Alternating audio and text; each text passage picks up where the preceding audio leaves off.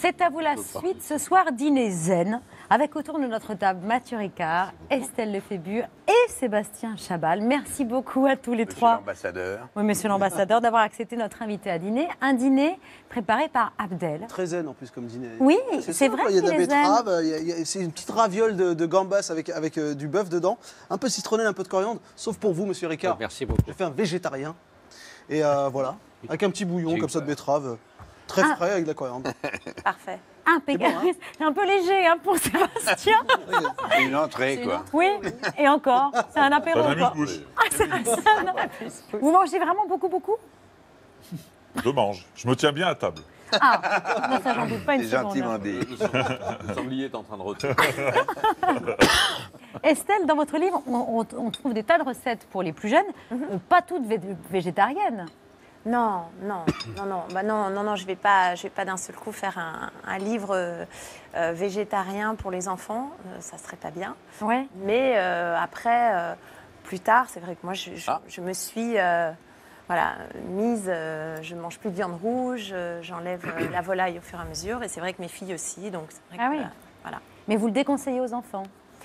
C'est pas que je le déconseille, c'est que je suis obligée d'être un petit peu, euh, voilà, médium sur. Je, Oui. je vais doucement euh, en disant que voilà, on peut faire un petit peu à manger avec euh, la viande. Il faut apporter quand même euh, des protéines, protéines.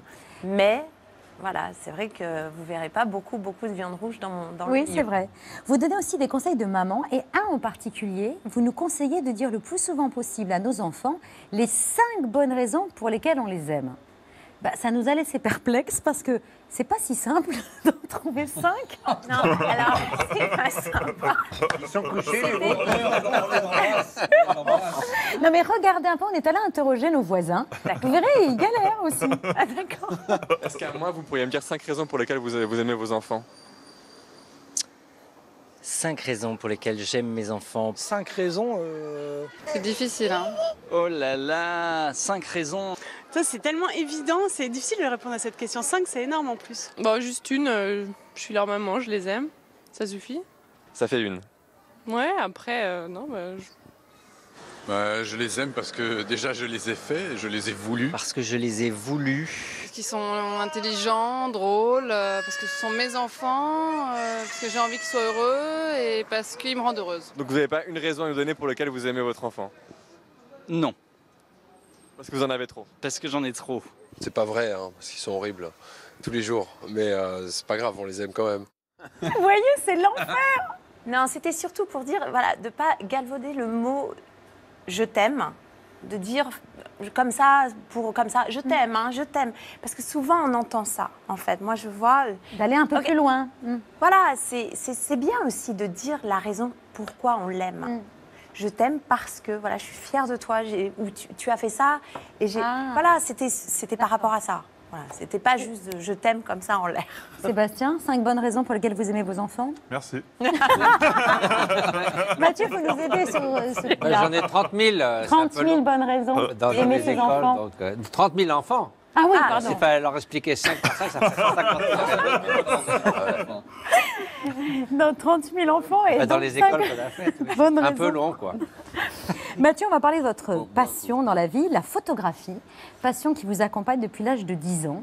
Mais vous dites que pendant très longtemps, votre travail n'a intéressé personne pendant très prend bien plus longtemps que ça. Parce que vous savez, je vivais dans l'Himalaya, j'ai continué à faire des documents.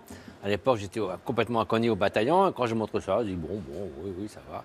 Et puis un jour aux États-Unis, j'ai montré ça à un grand éditeur de photos. Et il ne voulait pas me voir. Il a envoyé sa secrétaire. Et puis au bout de cinq ou six diapos, il a dit Patron, il faut mieux de descendre.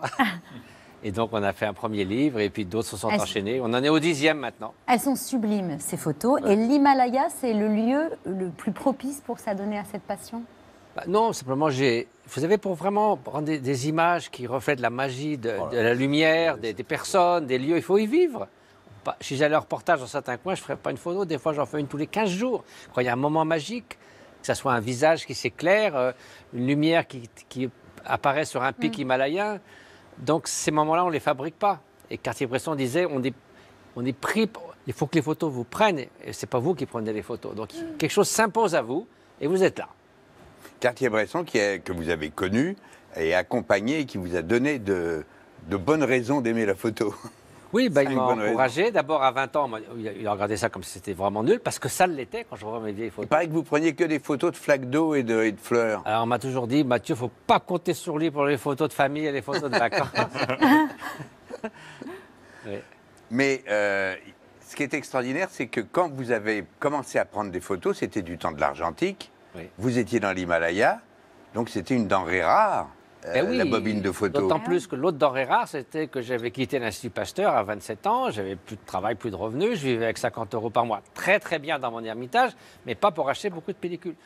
Donc j'achetais jusqu'à une dizaine de pellicules par an. Je les envoyais à Bombay par la poste. Ça me donnait deux mois à revenir, les Kodachrome. C'était un événement quand je recevais mes deux pellicules génial. développées. Mais euh, maintenant, donc, le digital a sauvé la vie de Mathieu Ricard, photographe. Ben, en gros, oui, ça me permet beaucoup plus de créativité. Je peux m'amuser, voilà, attendre, essayer, la nuit, le jour, à l'aube, dans des lumières compliquées, des chevaux au grand galop. Ben, j'ai pas peur de, de gâcher de la pellicule. Voilà, vous n'avez plus peur de gâcher. Ben non, je gâche rien. Je regarde le soir, j'en élimine les 9 dixièmes, et puis le reste, ben voilà, je. Et donc, un- un- une des marques euh, commerciales que vous avez le plus aimé dans votre vie, c'était Kodak. Ben, à l'époque, mais ça n'existe plus. donc. Ben oui. Mais ça, c'est un souvenir. Quand, Ah, le, le Kodachrome, c'est un grand quand le classique. Kodak revenait de Bombay, c'était un événement pour hein. vous. Oui.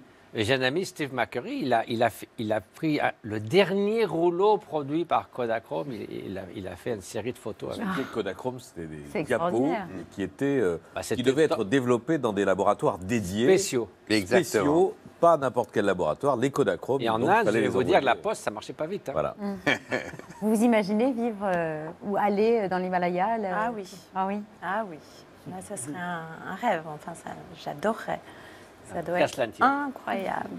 Sébastien Ouais, y aller, euh, oui, très très bien, ça doit être un endroit extraordinaire. Y rester euh, revenir. 50 Ça, ans, ça, c'est ce que je vois de- au petit déjeuner, le balcon de mon ermitage. Oui, c'est quand même pas mal. hein. c'est très bien même. On vous imagine pas sans votre kessa, sans votre euh, robe, sari aussi. Euh, Est-ce qu'elle est vraiment si pratique Euh, Très pratique. C'est la question que se sont posées. D'abord, vous ne demandez pas ce que vous, a- ce que vous allez mettre aujourd'hui le Oui. le matin. En plus, ça marche hiver comme été. Donc vous, vous avez cinq bonnes raisons de vous habiller comme ça. Ça, vous avez Eh ben, justement, Cyril et Karim ont testé pour nous votre kessa. Regarde. Avantage, c'est très aéré. Ah, il est bon. Ah, on est bien. Mais peut-être un peu trop. Oh putain, qu'est-ce qu'il fait froid. Et en plus, c'est très difficile à mettre. Comme ça, après, et puis tu passes comme ça. Alors, je me suis trompé de côté. Par contre, c'est très facile à enlever. Et hop là C'est hyper pratique. Vous aurez un style unique.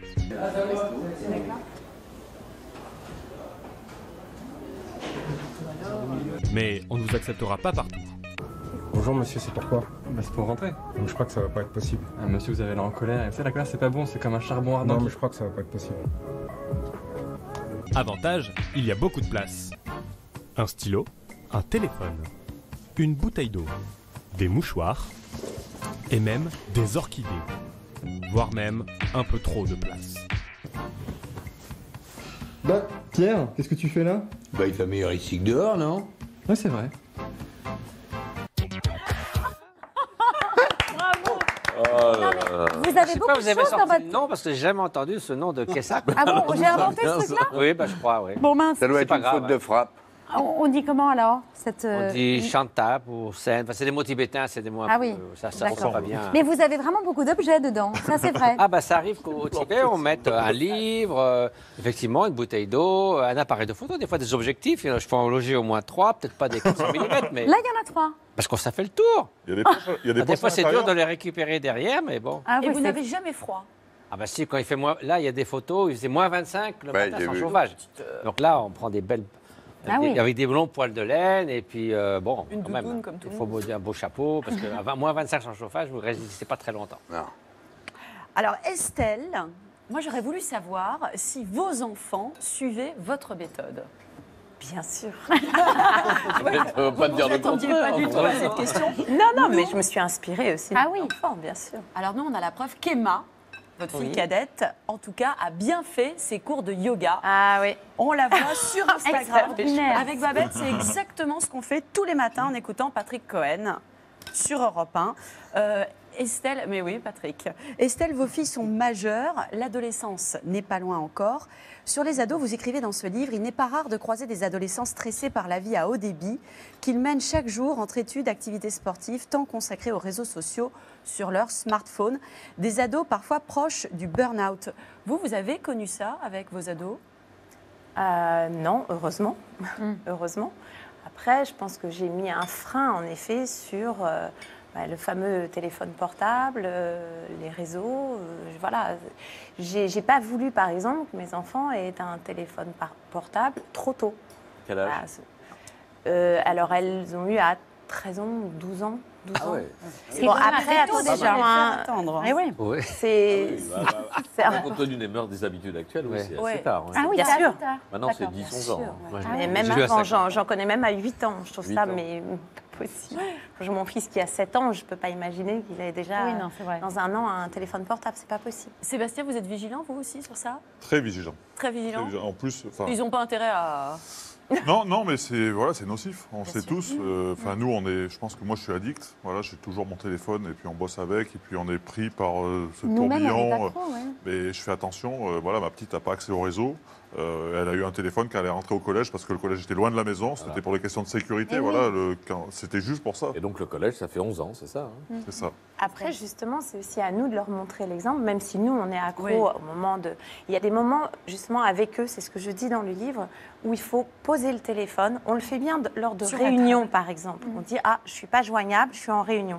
Pourquoi on ne pourrait pas ne pas être joignable non plus quand on est avec ses enfants Faire des réunions avec Voilà. ses enfants, quoi. Mais je trouve ça très important. C'est quand on est à table aussi, c'est Ah oui, moments- exactement. enfin, Ah, pour nous. Français, le- la table est un moment important de partage, d'échange. Et c'est vrai que c'est les- un peu les seuls moments qu'on partage avec nos enfants. Enfin, des vrais moments où on peut échanger. Alors Estelle, vos filles ont grandi. La première, Ilona, avec laquelle vous posez en une de gala cette semaine, posez plus ou moins, si j'ai bien compris, a défilé. Pas choisi. Voilà. pas choisi, voilà, je Ouais. a défilé pour Etam lors de la dernière Fashion Week. Est-ce que vous étiez fière de l'avoir défilé? Bien sûr. Vous lui avez donné des conseils? Quelle maman ne serait pas fière de voir sa fille Ouais. euh, défiler, un peu prendre le relais, on peut dire.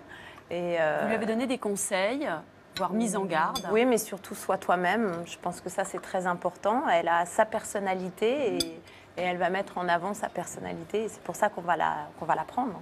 Surtout. Ah, Alors, vous avez vu le comeback des mannequins chez Versace. Ça, c'est notre archive préférée. On la sort toutes les semaines dès qu'on reçoit un top modèle. Est-ce que ça vous manque aujourd'hui? On va voir la photo, on la voit. Euh, toutes ces top modèles que vous connaissez, évidemment. Est-ce que ça vous manque aujourd'hui, les défilés, les podiums? Non. Non Non, non, Vous non. pourriez pas je, je veux- j'ai si pas de vous demandait, regret, je suis grâce pas, pas une nostalgie. euh, c'est- ça a été des merveilleux moments. Et euh, voilà, j'ai eu mon temps. Maintenant, je suis passée à autre chose. J'aime faire toujours des photos. Ça, c'est vrai. Ah oui. Mais, euh, mais les défilés, non. Non. Alors, votre autre fille, Emma, s'est aussi essayée au mannequinat. Cette fois-ci, vous l'avez accompagnée. C'était pour une pub Mixa, dont on, voit le, on va voir le making-of en ce moment même. Alors moi, je me posais la question, voilà, on vous voit toutes les deux. Est-ce que votre fils de 7 ans, c'est pour bientôt? Non, non. S'y coller aussi. Vous savez, j'ai vraiment attendu la, la majorité pour montrer mes filles et je ferai la même, même chose, chose pour mon fils. Voilà, ça c'était vraiment quelque chose de très important. Elles, elles ont le droit de choisir si elles avaient envie d'être publiques ou pas.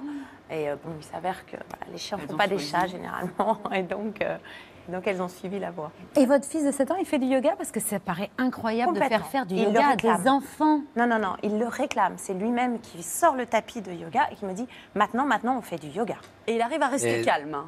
Dans nos écoles en Inde, des écoles communales et même maternelles, première chose le matin, les enfants font du yoga pendant une demi- 20 minutes. Mais ça se fait aussi de plus en plus hein, dans les écoles ici. Et ça, ça se fait, ça s'est toujours fait Inde. Et, et en- et c'est- ça leur est très profitable? Qu'est-ce que ça. Oui, alors moi, j'aime pas la, la notion de dire que ça les calme, parce que c'est calme, ça veut dire c'est mort, c'est pas bien, j'aime pas ça. Je préfère dire que ça les apaise ou euh, ça leur apprend Ça à gérer. Ça leur apprend La à gérer voilà, des émotions, des, des moments, soit de la colère, soit euh, euh, énervé. euh, voilà. Et donc, dans ces cas-là, ils apprennent, et pour plus tard, surtout, c'est c'est extraordinaire. Sébastien, on demandait à Estelle si les podiums lui manquaient. Vous, ça vous manque un peu le terrain, euh, la baston? Pas du tout. Vous avez bien donné. Non, non, pas du tout. Ouais, je me suis bien amusé. Euh, et j'ai arrêté parce que j'avais plus envie. Voilà, j'avais plus envie de faire les efforts nécessaires pour être performant. Euh, et comme le rugby est un sport de combat, j'allais me faire casser la gueule, j'allais me faire mal. Euh, donc voilà, mentalement, j'avais euh, j'avais vécu ce que je vous fasse une parenthèse de vie extraordinaire. euh, parce que ça a été le cas, j'avais pas choisi d'être sportif de haut niveau. Et voilà, il y a un moment où ma tête m'a dit il faut arrêter, j'avais plus envie. Ah Donc, oui. mais c'est génial d'arrêter comme ça. C'est génial parce qu'on peut passer à autre chose, on peut construire sa seconde vie sans aucun regret, sans regarder derrière, sans nostalgie. Voilà, je souhaite à tous les sportifs de- d'arrêter leur carrière comme ça. Une belle sérénité comme ça. Non, en Ouais. vous écoutant, tous les trois parlaient. Finalement, on comprend pourquoi vous êtes là tous les trois. Oui, c'était une très bonne idée. Le hasard fait bien les choses. Vous êtes tous les trois des exemples de sérénité et de zénitude. Merci beaucoup.